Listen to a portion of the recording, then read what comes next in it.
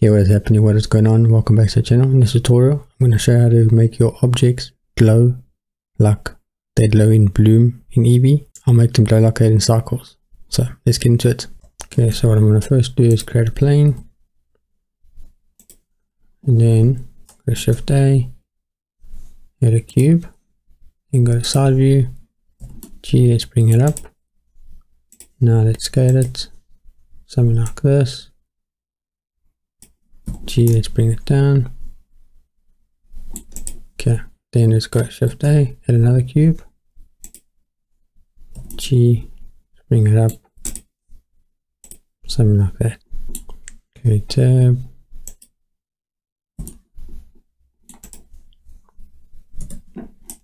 Okay, so let's go to camera.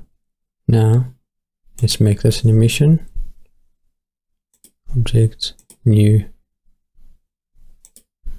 Oh, go here okay. So one thing you must know that if you you want to put it up to quite high there we go. Let's make this material like a metal quickly. Okay and then bring this world and let's bring this world strength all the way down. Okay so now this looks okay but we want to make it look even better so let's bring the strength down. It is a bit bright. Four.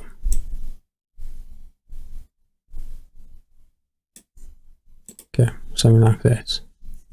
Now, what you want to do is make it like, let's change this, like a reflective surface, so plane.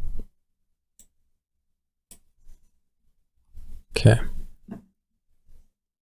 so you can see it's kind of okay but it's not great. Then what you want to do is go yeah select that then go shift a search for a glare node plug that in there. Now let's say you want to render it. You can see it looks a bit funny. So it looks terrible not funny. So how do we fix that?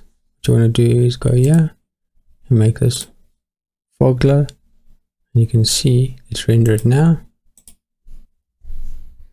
And now it's finished. Now you can see how much better that looks compared to with the streaks. So make sure that you added glare node. It's really easy. Go to com compositing. And then just change from streaks to fog glow and it will look amazing. So hopefully you enjoyed the video. If you did smash the like button and i'll see you next one